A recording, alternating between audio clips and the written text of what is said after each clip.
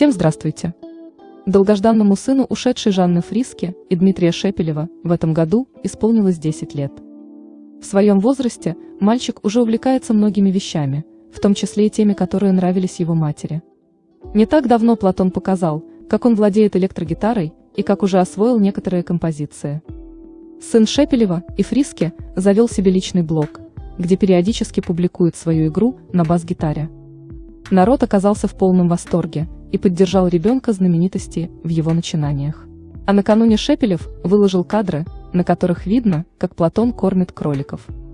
Видно, что мальчик делает это с заботой и вниманием к животным. Любовь к братьям нашим меньшим у ребенка, очевидно, передалась от матери. Также нельзя не заметить, что мальчик смеется практически так же, как и его родительница. У них одинаковые улыбки, он маленькая копия мамы, обратили внимание пользователи. Добавим, что раньше Шепелев старался оберегать сына от посторонних глаз. Он не публиковал фото и видео с наследником. Но однажды Дмитрий все-таки показал народу повзрослевшего сына, который в тот самый миг влюбил в себя всех своей обаятельностью и красотой. Напомним, Жанна Фриски ушла из жизни 15 июня 2015 года.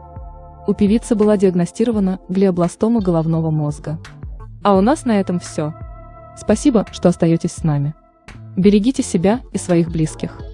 Подписывайтесь на наш канал. Ставьте лайки, комментируйте. Всем пока!